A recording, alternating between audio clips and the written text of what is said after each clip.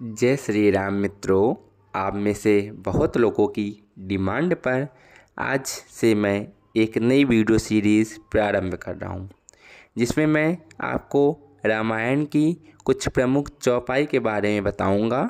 तो इसी कड़ी में आज की पहली चौपाई कुछ इस प्रकार से है।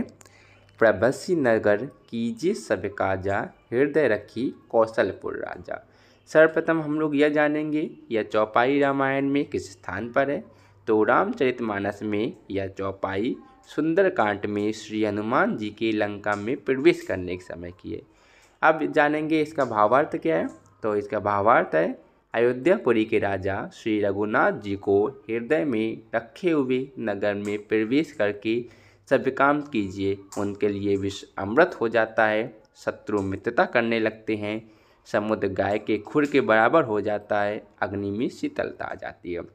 साधारण भाषा में इसका भावार्थ यह है कि कोई भी काम शुरू करने से पहले ईश्वर अर्थात प्रभु श्री राम का स्मरण करें, आपका वह कार्य ज़रूर सिद्ध होगा। तो इसी के साथ वीडियो को समाप्त करते हैं। मिलेंगे जल्दी नई चौपाई के साथ नई वीडियो में। तब तक के लिए जय श्री राम